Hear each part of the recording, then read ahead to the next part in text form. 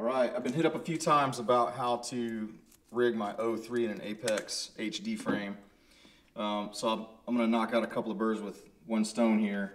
So I'm well over 500 packs on the D DJI O3. If you could see, um, my O3s have taken quite the abuse. And this is 500 packs plus across uh, four Apex quads. So it's safe to say each, each O3 system has 100 plus flights on each one with lots and lots of abuse.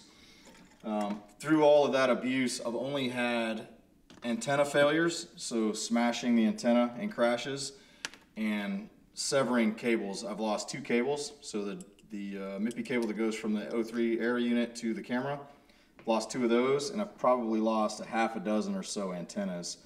Um, the reason I'm doing this video is because I was asked to show how I set up my O3 in the Apex, as I repeat myself, and also how I um, make it super durable in the back of the frame so you don't damage or lose as many antennas because I imagine if you're running this unprotected, you're probably going to lose a lot more than a half a dozen over a 500 pack period of time. Um, been flying it about five months now, almost six months. I love it. I've completely shifted everything over to the O3, so no complaints. I have good range. The lighting, they improved quite a bit with the latest firmware update, but if you still like the Caddx Vista as your, your bright light HD system, you're probably going to want to stick with it because it is a little brighter in the dark situations. Um, straight into it. So mounting the O3 in the back of the Apex, I don't bolt it down. Um, you can figure out how to bolt it down, but uh, I use the double-sided, the 3M 15-pound double-sided sticky tape to secure it in place. And then my power leads lay over top of that with these wires in place out the back and it presses this inset.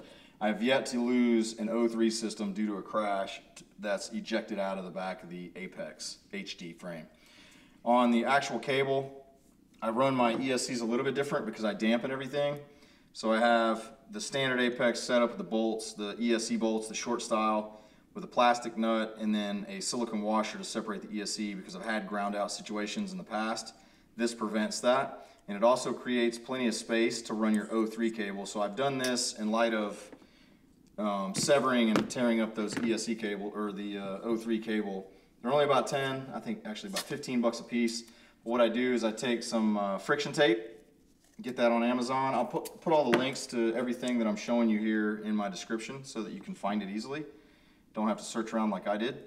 But I secure the O3 cable to the base, the back plate of the apex, like that. So now it can't flop around and vibrate and touch, come in contact with the ESC. And then I feed the excess into the front plate where the camera is captured. Again, I don't use the O3 as my primary digital camera just for flight. I use the Action 2 still. I'll show you how I mount this. So you remove the shipping bolts that come standard in the O3 camera package here. So it's flat, and flush. And then in the Apex, with the O3, because it is a larger camera, I fold over one side with the 15 pound 3M tape, and I put a single piece on the other side. And then I determine the angle of the camera where I want it. So this is a seven inch platform. I have it probably at about 30 degrees in this ship where it's squeezed in. And Impulse now has a kit. If you don't want to tape your cameras in, there's a kit they sell that allows you to extend it out so you don't get standoffs in view. I don't care about the standoffs because I use the Action 2. What I care about is durability. So in 500 plus packs, I've never lost a single camera. Not a crack, not a shear, nothing, not anything. No damage to my cameras. I will say that because of my up tilt, so I run extreme up tilt, if you do the same, be careful because if the carbon comes in contact and wears through this top plate, it will ground out. Uh, I want to say right there, if you can see, is a pretty good example I don't know if you can look in there and see that, but you can see where the frame has worn against the camera. That will ground out over time. So be, be advised, if you do run extreme angle, mount it just a little bit lower and it'll be fine. Um, same thing you see in the standard 5 inch apex, two-sided or folded in half, 15 pound, and a single piece over here.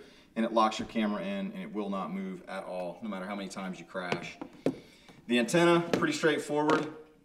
So you take a standard air the uh, O3 air unit, take some flush cutters, carefully trim up the little straw here like I'm doing, you'll get it all the way up to the top till about, I'd say a half inch remaining. And again, be careful because those wires can get in there and you'll end up severing those, so be very careful. So work your way up. I think I may have done it with this one. Keep chewing it all the way up till you get about right there. Pull the cables out of the way. Snip it at that spot. And now you have the free hanging cables out the back. I have the link to these prints also. I'll put those in the description. So if you want to, if you have Apex and you want to do what I am doing to protect your antennas, all the prints and everything will be in there. Align the DJI to the front of the aircraft. Press it in. So the DJI is aligned as flight, like forward of flight. The wires come out and what you'll do is you'll just wrap these in, tuck them inside, and then ultimately mount them to the standoffs in the back of the frame. And you see how the wires are all tucked in there. And again, 500 cra- or 500 flights, 500 crashes for sure. No issues other than I have had the wires slip out the back underneath here. That's only happened one time and they ground it out and shorted, which I just replaced the antenna. So the final step in all that is to put E6000. Um, thought I had it out, I don't. At, at any rate, E6000, I coat everything with E6000. So this is the final product with glue. I start at the top and I spread the E6000 all the way down around the sides of the TPU mount. And I rarely ever lose an antenna, ever. You can see how abused this antenna is. It's taken all the hits, all the diggers. That E6000 just creates a level of durability that just is far superior than just the standard plastic. You see it on there. It's abused, beat up, there, beat up, banged up. That one is, was recently replaced from Rampage, but you can see it's already started to take some abuse. Um, it does not affect the attenuation of the antenna. You still get really good performance. This with this all coated up and with the way you see it, far further than the Caddx Vista standard digital. But again, E6000, start from the top, work your way down, and when it glues, it'll be smooth around the antenna, so it almost looks like you have no glue on the antenna. And that is pretty much it. Recap, double-sided 15-pound 3M tape to secure the O3 air unit in place. I tape it to the, the frame because I use a little bit higher standoffs. You can run it either in between the flight controller ESC. It's, it's really shooter's choice. Two strips or one folded over, which is easier, of the 3M.